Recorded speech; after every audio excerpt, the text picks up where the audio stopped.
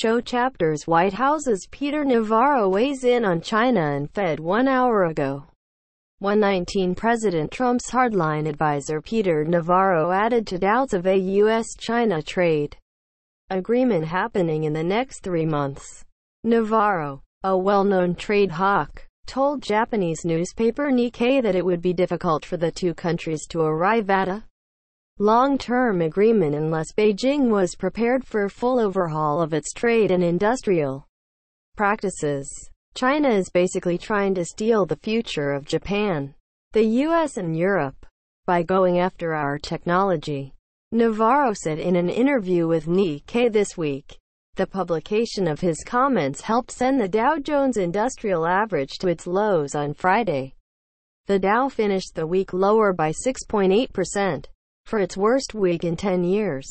President Trump and Chinese President Xi Jinping met over dinner at the G20 summit in Argentina, which was a great success.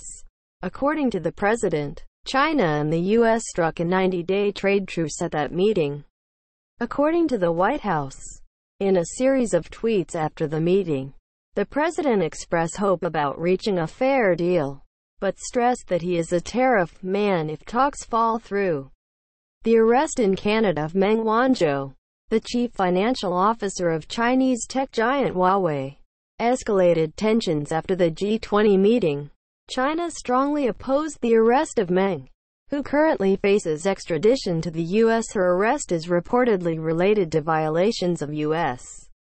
sanctions. Navarro said China needs to address all of the White House's concerns without half measures. He called the Made in China 2025 initiative a label for a Chinese strategy to achieve dominance in the industries of the future. Navarro went through a litany of China's economic aggression, from consolidating of state-owned enterprises into national champions, to debt trap financing to developing countries, and dumping below cost into foreign markets. According to the Japanese newspaper, Navarro said virtually everything on here is against the rules of the World Trade Organization.